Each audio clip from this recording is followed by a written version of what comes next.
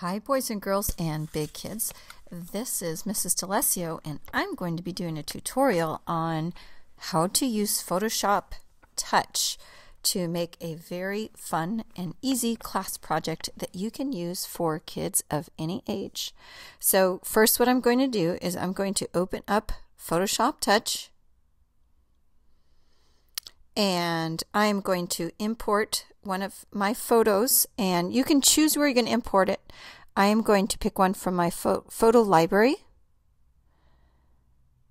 and I'm going to take a picture that I took of one of my students of their silhouette. Now, to do these silhouettes to get best results, you are going to want to have the light source behind you and it darker in the front. So I found that the very best place to do this is right inside of your classroom door. So if you just open the door and have your student stand right in the doorway with the sun behind in the broad daylight, you can have a pretty good background and you might need to get down low when you take the picture and uh, that way if there's any trees or something in the background, most of them will be uh, not in the way. So that way you can make a cleaner uh, selection. It just makes your job a lot easier. Now, first what I'm going to do is I'm going to look for my selection tools and notice that there's a whole bunch of them here that are nested in here. I'm going to pick the one that's called the magic wand tool and it's actually quite easy if you have this clear background with this blue. So I'm going to then just click on the part that I want to have selected and notice you can see what those what they call the marching ants and uh, that is the part where I'm going to select. And then if I go and also just notice what I have here with the mode and the tolerance, and you'll you can fiddle with those if you want, uh, but this is going to work for me now. Up on the top, uh, I'm going to choose the extract tool. And if I click on that, it automatically deletes the background that I don't want. And then I can deselect so that I am no longer selecting those marching ants. Now, one thing that I also find that's a really good tip for making good selections is to zoom in as much as possible. So this looks great on my little tiny phone, but if I move in real close, you can see if there's any little imperfections. And this actually did a really good job of making a selection, but I can see some little messiness right here. So I'm going to go over to my eraser tool and fiddle with my brush. I'm going to have the flow opacity all the way up to the top and the hardness all the way up to the top. And then you can make, if you're just going to swipe a large area, you can make your brush really big. That way, if there's any little stray pixels that you don't notice, it will be sure to clean those up pretty well. And then if I want to get in more detailed, I can make my brush a lot smaller and it looks pretty good. So just pinch in as much as you want and then here I can see a few little stray pixels here. And you can just go and clean those up.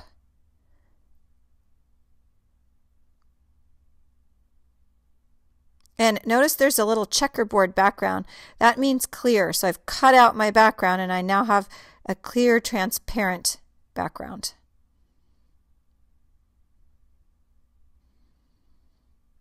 And I think it's pretty good. Now notice it's a little bit blue. There's some blue fringes because it was with the sky in the background. So now what I'm going to do is go up to my toolbar up here and I'm going to go to the black and white.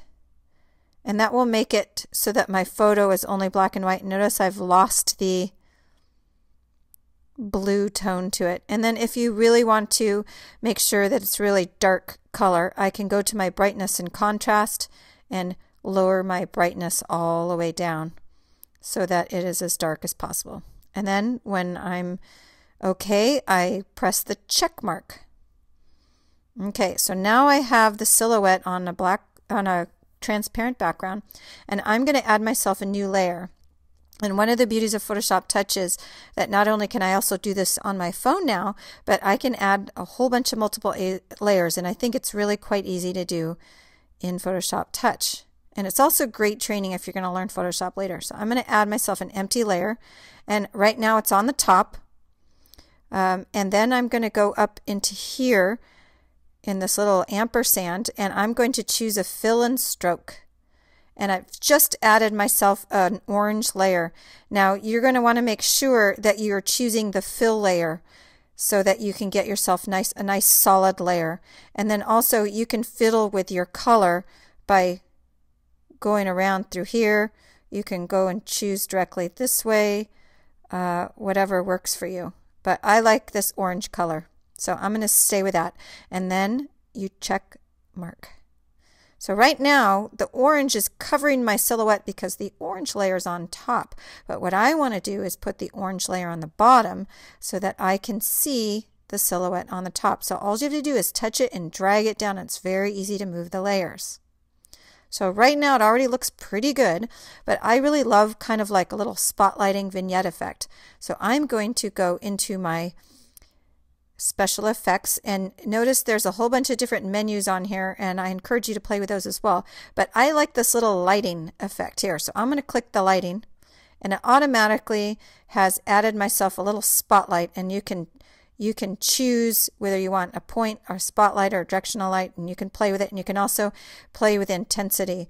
Uh, but I think this is too light so it really looks pretty pretty good just the way it is if you want a little dark around the edges so it just kind of gives a little bit more emphasis right to her profile and it gives it a nice little effect that I like. And you can also change the, the color that you want. Then once again, check mark and I'm I like it. I think it's pretty good. Um, now I'm going to add some text. So if you're working with students to do a language arts project maybe in the beginning of the year, you can add text very easily and have them pick some adjectives to describe themselves. Maybe they can put their name. And then over here, there's a whole bunch of different fonts that you can choose. So you can pick one that you think works or let the kids choose um, which one is their favorite and I'm going to pick this one and then you can type in the bottom the word that you want. And you can do this as many times as you want. Notice they have some little selection tools too. So if you want it bold or if you want it to change color, you can do that too. And then I can I can zoom in and drag on my little corners to place it just where I want it and you can press the check mark for that. If you want to, if you change your mind later and you need to scooch it because you're going to add more text, you can always press the transform tool and do the same way. And I think that it's easier to grab the handles if you zoom in a little bit closer. And then check mark. And then you can do that with as many layers as you want.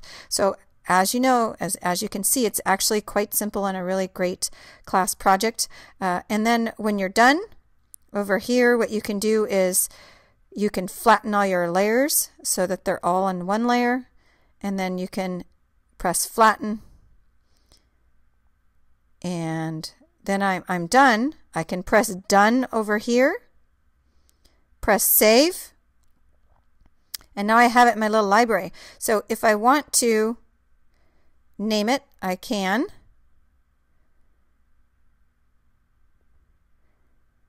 And then I get to figure out what I want to do with it. So if you want to save and sync your files so that they're stored in the Creative Cloud so you can access them from the Creative Cloud, it's really easy to do. Um, I always have mine, so mine's automatically saving. So that way I can access my photos later from any other device, or if something happens to my phone, they're safe.